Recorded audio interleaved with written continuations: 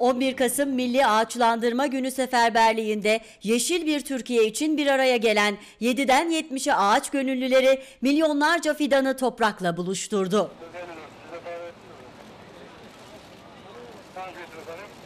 Ankara'da ilk fidanı Cumhurbaşkanı Recep Tayyip Erdoğan ve eşi Emine Erdoğan dikti.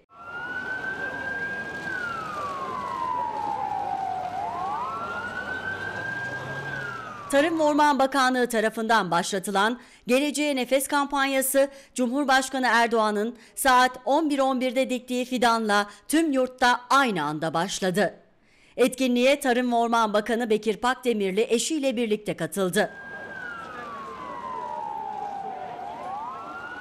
Farklı illerdeki ağaç dikim etkinliklerine canlı bağlantıların yapıldığı törende Cumhurbaşkanı Erdoğan etkinliklere katılan bakanlarla konuştu. Ağaç dikiyoruz. Bugün Antalya'da toplam 203 bin ağaç dikilecek. Fakat şu an itibariyle vatandaşlarımızın da e, destekleriyle 240 bine ulaştık. Öyle görünüyor ki yıl sonuna kadar bir 400 bin civarında ağacı geleceğe nefes olmak için Antalya'da arkadaşlarımızla birlikte dikmiş olacağız.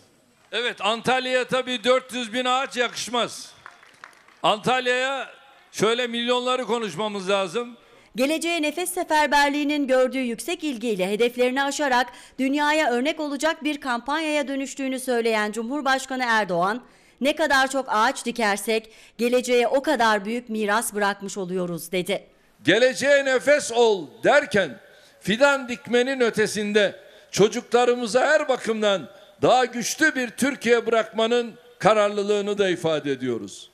Bugün dikilen fidanlar her yıl büyüyüp serpilirken çocuklarımız da onlarla birlikte ülkemizin geleceğini kucaklamaya talip bir donanımla kendilerini geliştirecekler.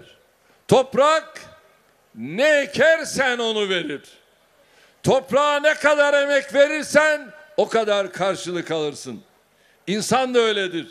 Bunun için biz insanı yaşat ki devlet yaşasın diyoruz. Tarım ve Orman Bakanı Doktor Bekir Pakdemirli 11 milyon fidanla daha yeşil bir Türkiye için gerçekleştirilen seferberlikte konuştu. Bakan Pakdemirli, Türkiye'nin orman varlığını artıran nadir ülkelerden biri olduğunu vurgulayarak son 17 yılda yapılan ağaçlandırma çalışmalarına ilişkin rakamları paylaştı. Biz geleceğe nefes olmaya karar verdiğimizde bu kampanyayı 11 milyon fidan ile sınırlandırmıştık. Ancak gördük ki aziz milletimiz bu kampanyayı bir seferberliğe dönüştürerek bir memleket meselesi haline getirdi. Ve tahminimizden daha çok sahiplenerek milletin kampanyası seviyesini yükseltti. Bakan Pakdemirli 11 milyon fidan seferberliği ile Türkiye'nin Güneş Rekorlar kitabına adını iki rekorla yazdıracağını da sözlerine ekledi. Bir saatte en fazla fidan dikme dünya rekoru bugün Çorum'da bir saatte daha fazla fidan dikerek Türkiye adına tescil ettirilecek. Ve milletimiz sayesinde oldukça anlamlı bir rekora hep birlikte imza etmiş olacağız. İkinci rekorumuz için de bugün fidan dikerken çektirdiğiniz bir fotoğrafı geleceğe nefesalbüm.com adresine yüklemenizi istiyoruz.